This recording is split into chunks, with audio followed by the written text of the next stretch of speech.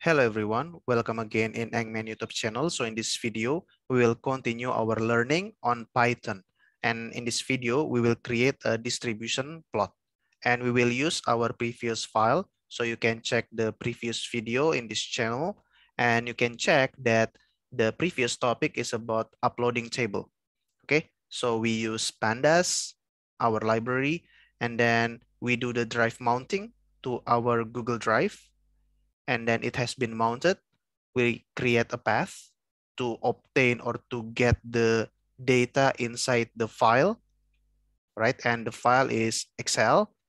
And we create a data frame where pandas will read the Excel file and, and then create this data frame, this table. Okay, so we will create distribution plot from data inside this table or inside the file. Okay. But before that, I will show you this code first. Or I can rename the file distribution plot.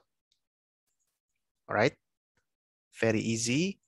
And then go to here, new code, df.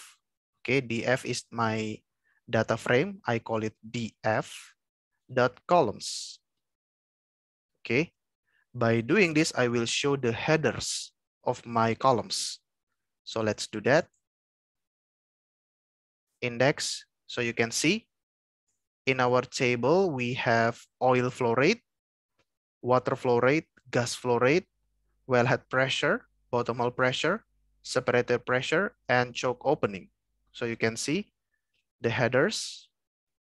So by doing this, we show the headers maybe sometime it is important to show what data you have inside your table, okay? All right. And then we create a new line of code. Okay, so to create a distribution plot, we use, we need other libraries. So you can follow me. Here we will use something like matplotlib Okay, I will plot using matplotlib. Okay, pyplot. Usually we call it PLT as this guideline PLT, right? And then we will use also the Seaborn. Usually we call it SNS. Okay. So we click run. All right, so from the last or the bottom line of code, we can do this. So fig PLT, so we will use matplotlib. Fig size, the size of the figure, okay, equals parenthesis, let's say 5 comma 5, okay, and then we will use Seaborn SNS. This plot, you can see distplot to show or to create the distribution plot. This plot, and it will take data from df, okay, my data frame. And then I will show inside the data frame, I will take the oil flow rate, for example, this one. Okay, so I will use the oil flow rate okay. And then the color I will use for example blue. Okay. With the bins none. Okay. All right. And then I'm sorry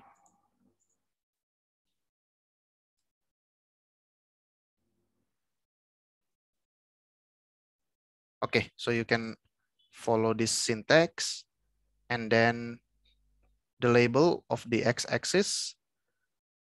Make sure the same name as here, okay? And then the y-axis, PLT,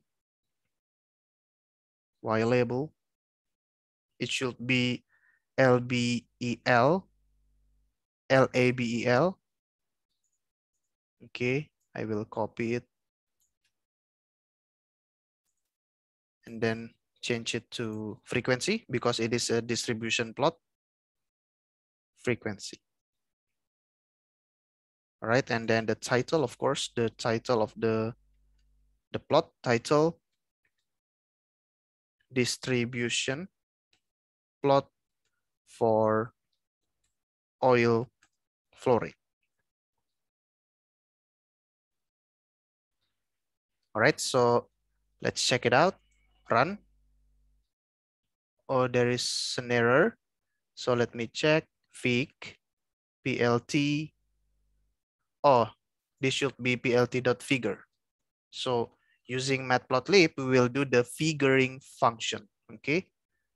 So run, right? Done. Very easy. Let me minimize the monitor. Okay, so you can see this is the distribution plot. The x-axis is the oil flow rate. Y-axis is the frequency.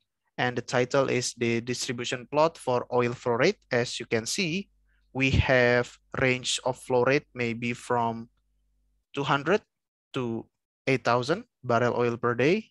And this is the frequency.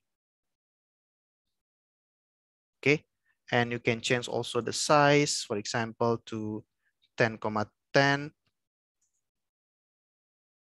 to make it bigger or to make it smaller, 2, comma 2, right? And then you can change the color to red, very easy, and to green. All right. So I think we can call it a day right? So that's all. I hope you enjoyed the video. I hope the video is useful.